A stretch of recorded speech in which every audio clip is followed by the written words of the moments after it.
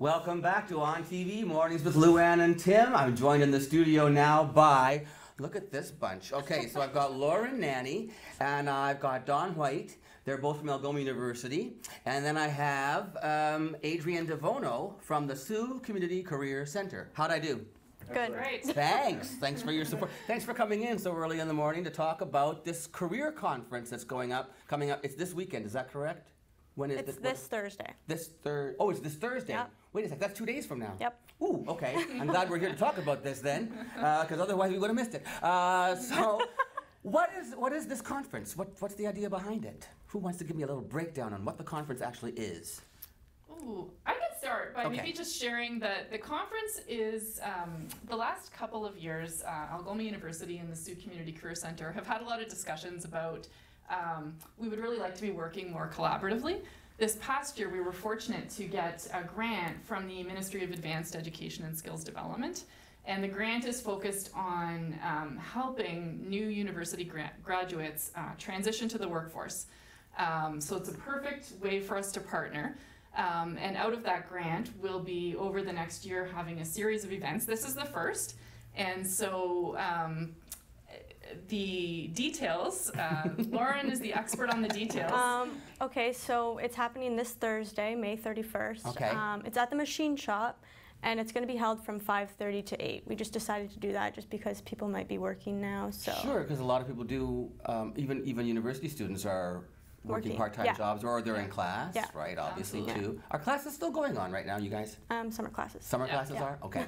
Um, so how did you you had been partnering with them before? The Sault Community Career Center had been involved with Algoma U before, or Well, we had a lot of informal sort of collaborations uh, historically, and now we really wanted to formalize that because uh, one of the things that we're seeing now at the Career Center is a lot of these graduates, these students are coming out of university and um, they realize that the game has sort of shifted, right? Moving from an academic environment into the workplace. And historically, we've seen that they're just not prepared for that mind shift Mhm. right? So the Career Center works very closely with helping people understand uh, transitions, helping understand change, what motivates people to change, and to actually acquire the tools and skills to change, to move from that university setting, the academic setting, into the workforce, and be able to communicate to employers what employers want to hear. you have those kind of counseling services available? Yeah, yeah, we work really closely uh, as really unique. Um, uh, in fact, it's the only program that we have in, in Northern Ontario that really dives down and helps individuals understand what motivates them to do the things that they that they do and how they can change certain aspects of their approach to situations in order to succeed through change. Because everything's everything's a change, right? So uh, people come out of university and they in their, in their, in their skin they're tentative because it's a whole new world that they're encountering. So by helping them understand how we change, how we sustain change, how we find the motivation for change, and then also putting them um, in contact with employers and uh, helping them tap into that hidden job market here, especially in Sault Ste. Marie.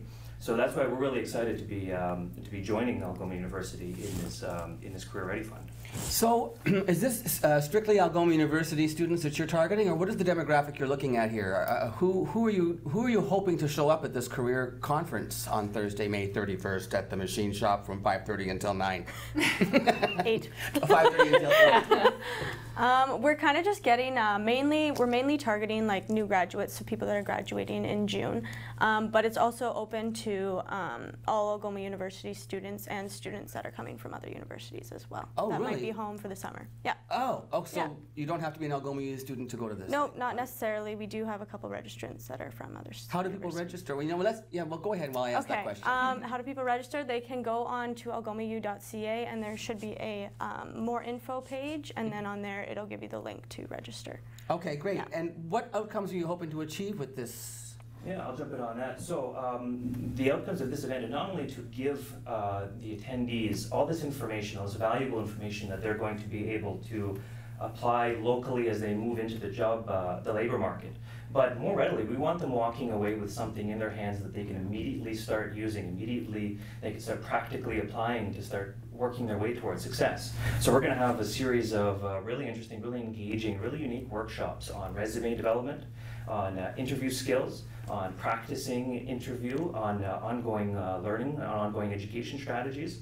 So people will be able to walk out of this event ready to ready to hit the ground running with a with a solid vetted resume made by professionals with interview skills so they can field those top questions in interviews that trick a lot of people and trip a lot of people up, especially new job seekers who've never maybe heard those types of things before. So they people will in attendance will be walking out of this event ready, uh, ready with a lot of options on their hands. That is a really cool approach because, and this has been proven, that if you um, practice um, in situations, role playing, um, you practice that dialogue, you, you get that conversation going in your head, and it gives you the confidence then to when you're in a situation where those things come up, you've got that in your memory, and you can just start pulling those things out, right? It's, it, it's very, the they use the same. Um, the same ta tactic for anti-bullying, that kind of stuff, where you, you rehearse and you practice a situation in case it comes up. So the same thing can happen for job interviews. Oh, I'm not suggesting that people who interview people are bullies. I'm just saying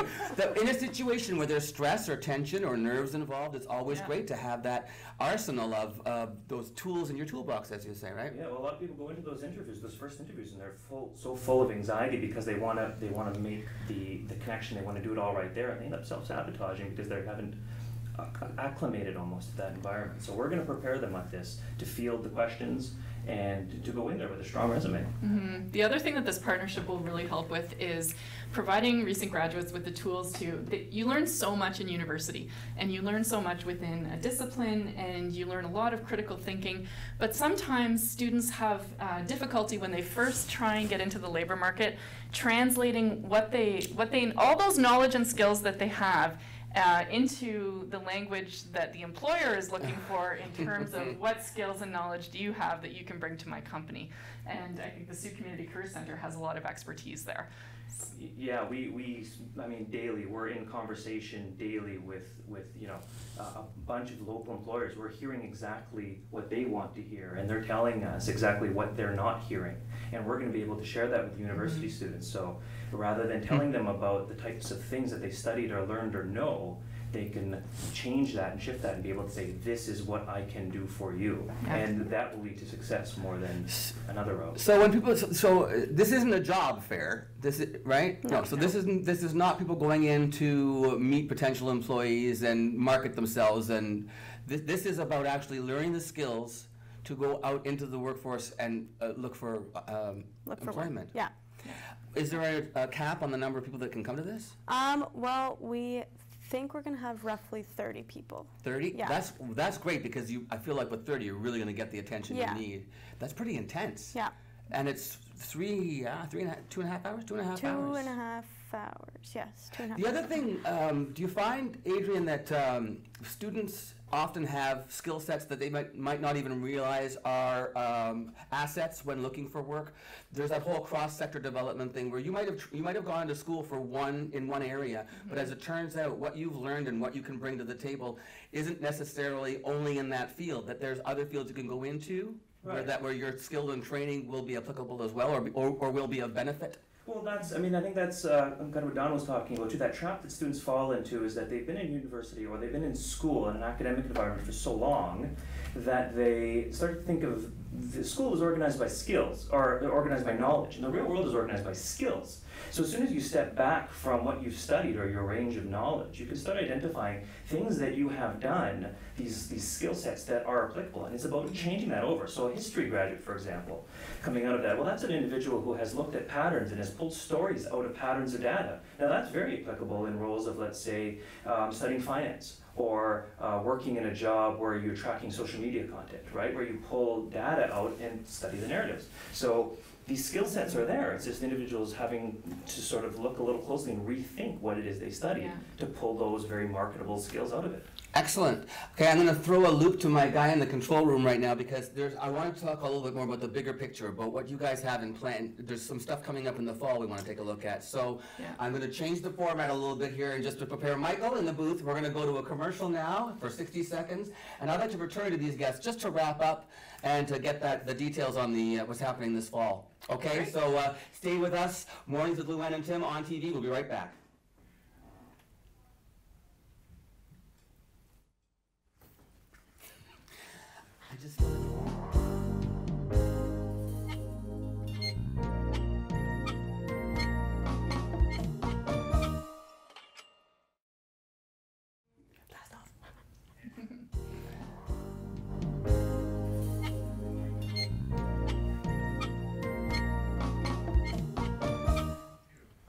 Back again with Lauren and, well, White, uh, Dawn. Dawn. I knew you had a first name. And Adrian, uh, two from Algoma University and Adrian from the Sault Community Career Center. We were talking about um, the career conference coming. it's live, Lauren. Stuff happens. Um, it's a good thing I remember your. The only reason I remember your name is because your family rents a cottage to my sister. Welcome to Sault Ste. Marie. We all know each other. Ah, so anyway, I want to talk a little bit about um, the the big picture. You were talking about the funding that you have received, and that there's probably some more coming up, or is it the same well, funding? It's the same funding. Okay. So the funding um, is through the Career Ready Fund through the Ministry of Advanced Education and Skills Development. It's for a year-long project, and this event is really the kickoff Oh, this to is what's going to be happening over the year. Cool. So the um, funding allows us in partnership, the Sault Community Career Center and Algoma University, to develop a new graduate transition program that's more of a formalized structure, as Adrian was mentioning earlier. So when um, students in their final year of university come back to school in the fall, they will have the option to register and participate in a year-long series um, of workshops and uh, supports to get them job ready. When they graduate, they'll already have had uh, career mentorship, a coach, they'll have had workshops about translating uh, what they're learning in terms of their discipline into skills and articulating those skills and knowledge that the employers are looking for. And uh, yeah, so they'll be able to participate in a program, they'll be able to get uh, formal recognition uh, for it, and we'll be developing the details of that program over the summer to Mhm. launch in the fall. But this event is important because we wanted to do something in the short term for those students who are graduating this year.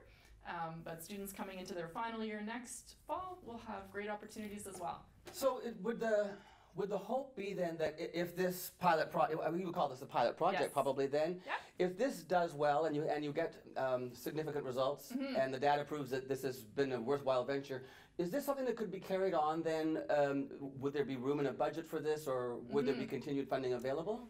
Abs- well, that's the idea. There may not be continued funding available, but we will have in mind throughout the development that we want to develop something that's sustainable. Excellent. So we want to, it makes sense for us to be working together, and I think given our current uh, resources, we can do that.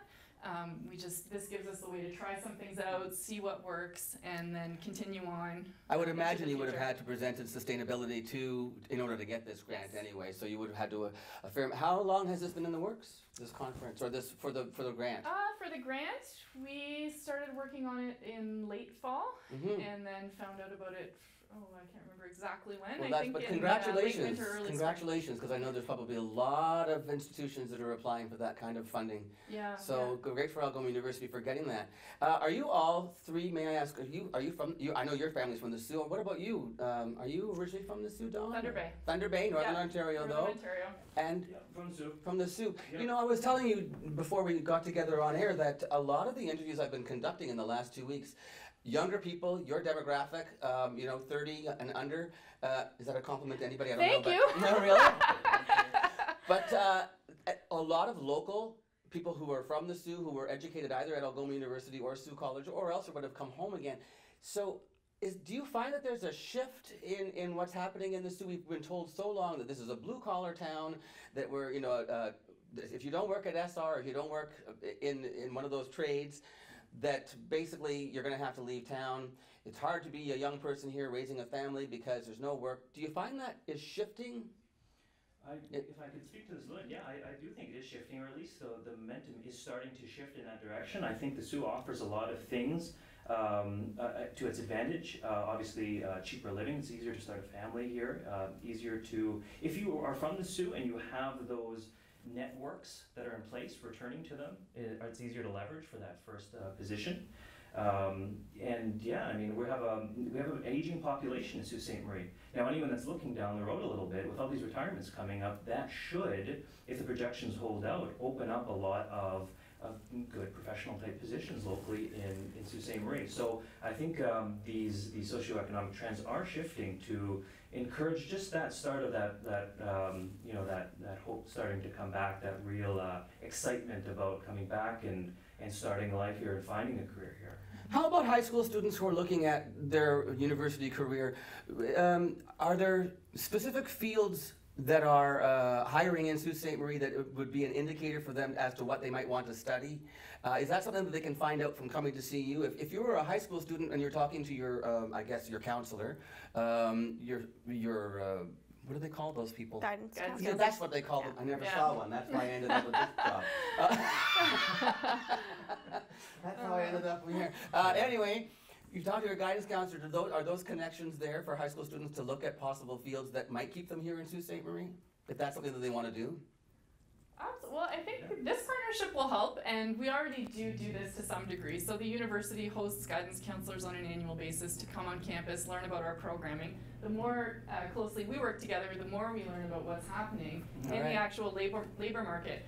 Um, and I think there are fields that are certainly growing locally. So computer science would probably be one. Oh, healthcare. Um, Healthcare? Is yeah. right now, yeah, needs people. Social work? People. social work, but uh, importantly too is that um, there's also kind of uh, the reverse way of looking at it, where it doesn't necessarily at the undergraduate level, um, uh, in many jobs, make a difference what field you study in, because it's about those skills that you're learning. Good point. And as long as you're able to take your discipline knowledge and translate that into skills that employers are looking for, you're well prepared for a very bright future. Okay. That's a great point. I mean, many people, I, I think the higher percentage of people end up in jobs that, where their, their university degree does not directly relate to where they, where they end up. I Oh, mean, it's that journey, right, of, of where you're going with it. So All right. There's no need to feel inundated Yeah. by what you Right. studied. I studied wildlife biology, so so- yeah. Lauren, stop talking so much. I'm going to let you close off, Lauren, by giving us the final details of the career conference again. Where do they register? Okay, they can go to algomau.ca to register. There should be a link there that'll give you um, the registration.